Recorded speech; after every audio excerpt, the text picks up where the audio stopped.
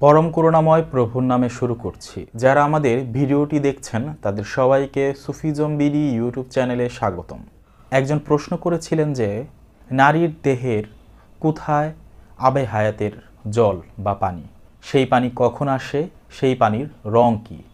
আজকে সেই বিষয়টি নিয়েই আলোচনা করার চেষ্টা করব।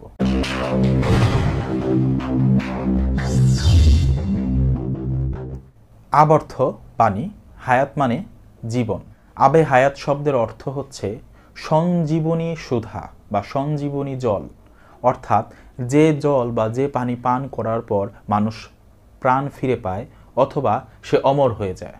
আবে হায়াত নিয়ে অনেকেই অনেক ধরনের কথা বলে থাকেন। এখানে কয়েকটি মতামত লক্ষ্য করা যায়।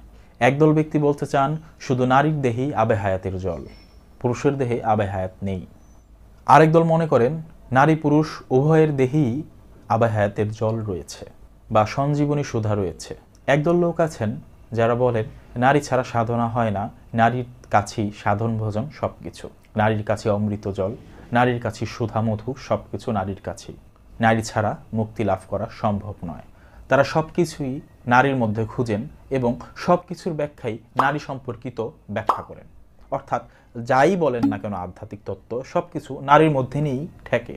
ঠিক যেন সেই খাঁচ কাটা গল্পের মতো। অর্থাৎ যত যাই বলেন, কুমিরের গায়ে খাঁচ কাটা খাঁচ কাটা খাঁচ কাটা, সেই যে একটা গল্প শুনেছিলাম ছোটবেলা, তাদের ব্যাপারটাও ঠিক তাই।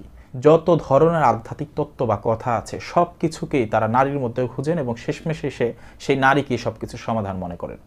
যেহেতু আবে হায়াত শব্দের অর্থ হচ্ছে সঞ্জীবনী সুধা, অর্থাৎ যেটা খাওয়ার পর মৃত ব্যক্তিও প্রাণ ফিরে পায়। তাই তারা বলে থাকে যে, নারীর দেহে যে দুগ্ধ আছে অর্থাৎ মায়ের দুগ্ধ, এটাই হচ্ছে আবে হায়াতের জল। অর্থাৎ একটি শিশু যখন জন্মগ্রহণ করে, তখন সে থাকে দুর্বল। যখন সে মায়ের শাল, দুধ বা দুগ্ধ পান করে, তখন সে সবল হয়ে ওঠে, অর্থাৎ প্রাণবন্ত হয়ে ওঠে। এই যুক্তিতে তারা বলে থাকে যে, নারীর দুগ্ধ হচ্ছে সেই আবাহায়াতের জল বা সেই সঞ্জীবনী সুধা। অর্থাৎ যেটা পান করার পর দেহে শক্তি ফিরে আসে, দেহ প্রাণবন্ত হয়ে ওঠে। দুর্বল একটি শিশু যেন হয়ে ওঠে শক্তিশালী, তখন তার ভেতরে সব কিছু কাজ করা শুরু করে এবং মায়ের দুগ্ধ পান করার ফলই সে দ্রুত বাড়তে থাকে এবং মেধা বিকাশ ঘটতে থাকে তার। এটা হচ্ছে তাদের এক শ্রেণির মতামত যে মাতৃদুগ্ধ বা নারীর দুগ্ধই হচ্ছে সেই আবেহায়াতের জল। আর এক্ষেত্রে তাদের যুক্তি যেটা সেটা তো আমি বললামই তাদের মধ্যে আরেকটি দল রয়েছে। তারা বলে, আবেহায়াতের রং হচ্ছে চারটি, লাল জরদ, সিয়া সফেদ অর্থাৎ সাদা রং, লাল রং, হলুদ রং এবং কালো রং। এই চার রঙের আবে হায়াতের জল হয়ে থাকে। এটি মাসের নির্দিষ্ট একটি সময়ে আসে। কেউ কেউ মনে করেন জীবনে একবার আসে। তবে রং এক এক সময় এক একটা হয় বা এক একজনের এক এক রকম রং থাকে। তারা মনে করেন নারীর দেহ থেকে কিছু রস নির্গত হয়, কিছু তরল পদার্থ নির্গত হয়। এগুলোর মধ্যে কোনো একটা হচ্ছে আবে হায়াত। এক একজন এক একটা বলে থাকে। তাদের মধ্যে অনেকগুলো মতভেদ রয়েছে। কিন্তু তারা উভয় দলই একমত যে নারীর দেহি সঞ্জীবনী সুধা, পুরুষের কাছে নেই। অর্থাৎ যারা মাতৃদুগ্ধকে আবেহাত মনে করে এবং যারা নারীর দেহ থেকে নির্গত তরল পদার্থর মধ্য থেকে কোনো একটিকে আবেহায়াত বলে, তারা উভয় গ্রুপই এই বিষয়ে একমত যে নারীর দেহেই আবেহায়াত। এখন আপনি চিন্তা করুন, আবেহায়াত যদি শুধু নারীর দেহেই থাকে তাহলে এটা পান করবে শুধুমাত্র পুরুষ। পুরুষে অমর হবে, তবে কি নারীরা আবে হায়াত পান করবে না? তাদের কি সেই অধিকার নেই? যদি নারীর দেহের কোনো তরল পদার্থ আবে হায়াত হয়ে থাকে, তাহলে তো সেটা কোনো নারী পান করতে পারছে না। সেটা পুরুষে শুধু পান করার সুযোগ পাচ্ছে। বেশি ক্লিয়ার করলাম না, তাদের কিছু তথ্য এরকম রয়েছে। পান করার যে বিষয়গুলো রয়েছে, পঞ্চরসের তাদের একটা ব্যাপার আছে। তো এই বিষয়গুলো নিয়ে আমি আলোচনা করলাম না। তা তার মানে তারা বোঝাতে যাচ্ছে যে এখানে শুধুমাত্র পুরুষই তা পান করতে পারবে, নারী তা পারবে না। তো যার কাছে সব কিছুর ভাণ্ড, সে পান করতে পারবে না অপরজন এটা পান করে নিয়ে যাবে। এটা আবার কেমন কথা? তারপর আপনি চিন্তা করুন। কোনো তরল পদার্থ পান করলে কি কেউ অমর হয়? এটা সম্ভব। কেউ হয়েছে কখন? কোনো তরল পদার্থ পান করে অমর হয়েছে? কোনো দেহের কোনো অংশ বা কোনো কিছু পান করে কেউ অমর হওয়া সম্ভব? চিরজীবী হওয়া সম্ভব, প্রাণ ফিরে পাওয়া সম্ভব। আমার তো মনে হয় না যে সম্ভব, বা কেউ এটা প্রমাণ করতে পারবে, বা কেউ এটা দেখেছে।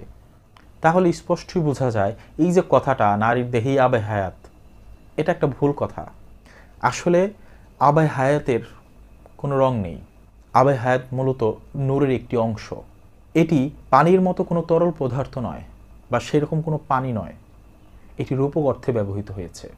আবে হায়াত প্রতিটি মানুষের দেহের মধ্যেই রয়েছে। দেহের বাইরে নয়, নারীর দেহ রয়েছে, পুরুষের দেহ রয়েছে। শুধু যে নারীর দেহে আবে হায়াত আছে, এই কথাটি ভুল। নারীর দেহ আবে হায়াত আছে, পুরুষের দেহ আবে হায়াত আছে। আবে হায়াত একই বিষয়। নারীর দেহে আলাদা আবে হায়াত, পুরুষের দেহে আলাদা আবে হায়াত এইরকম নয়। আবে হায়াতের রং ভিন্ন ভিন্ন হয় না। নারীর কাছেও ঠিক যেরকম আবে হায়াত, পুরুষের কাছেও ঠিক সেরকম আবে হায়াত। এটা দেহের কোনো তরল পদার্থ নয়।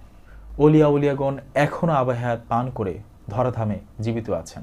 তাদের কোনো মৃত্যু নেই। খিজির আলাইসাল্লাম এই আবে হায়াতের পানি পান করেই চিরজীবী হয়ে আছেন।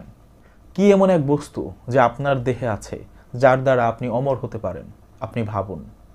দল কৃপা করলে আপনি নিজেই এর উত্তর পেয়ে যাবেন। কিন্তু সেটাকে কোনো তরল পদার্থ ভেবে ভুল করবেন না, কারণ কোনো তরল পদার্থ পান করে অমর হওয়া সম্ভব নয়। কি এমন বস্তু যা জগতে মানুষকে অমর করে রাখে। এই অমর হওয়া বলতে কিন্তু এই দেহ নিয়ে সারা জীবন এভাবে থাকা কি বোঝায় না।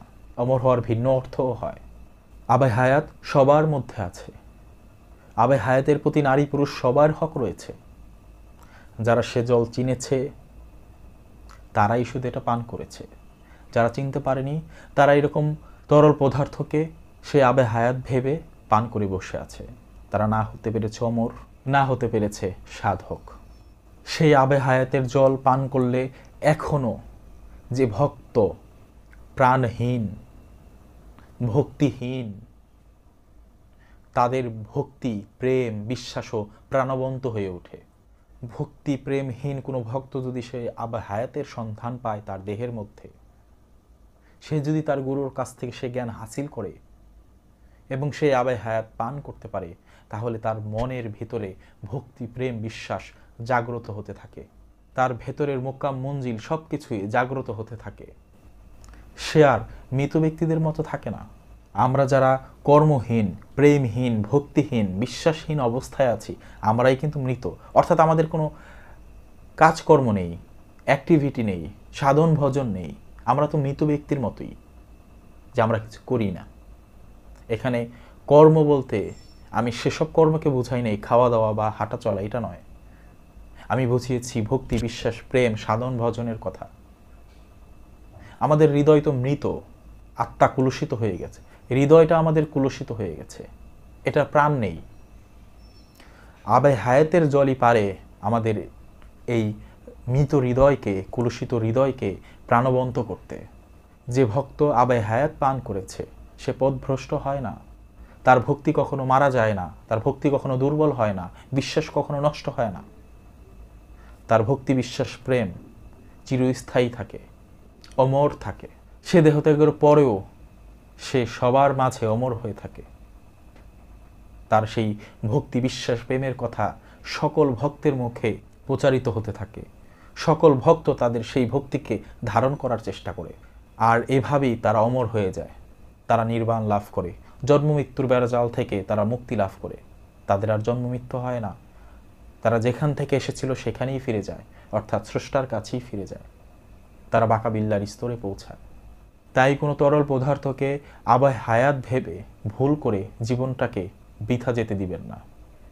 মুর্শিদের পায়রবি করে সঠিক আবে হায়াত সম্পর্কে জানুন।